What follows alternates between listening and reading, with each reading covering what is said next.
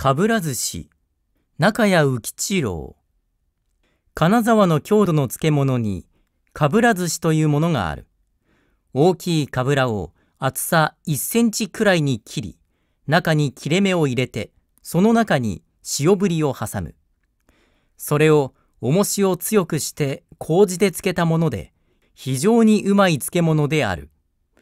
北陸地方では、寿司といえば大抵押し寿司であって、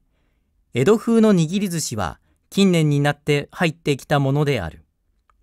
普通は米の上にマスやサバ、あるいはイワシを乗せて押したものであるが、米の代わりにかぶらを使ったものをやはり寿司と言ったらしい。このかぶら寿司はこの頃は市販品になっているが、昔は皆自分の家で漬けたものである。魚を発酵させるので、漬け方と時期との微妙な差で味がひどく違う。一つうまくいくと、まさに天下の美味となる。百万石の城下町に、いかにもふさわしい漬物であって、それぞれ自分の家のかぶら寿司を自慢にしたものである。こういう寿司がいつ頃からあったものかわからないが、芭蕉の猿美濃に、どうもこれではないかと思われるものが顔を出している。有名な悪桶の連句の中に、巨来の、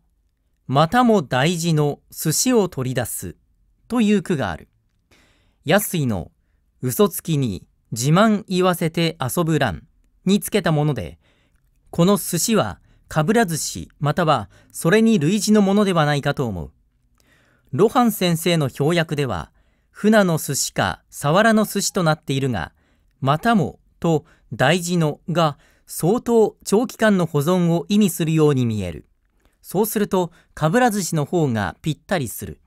昔、寺田先生にこの話をしたら、そうかもしれんな、と言っておられた。先生もかぶら寿司が好きであった。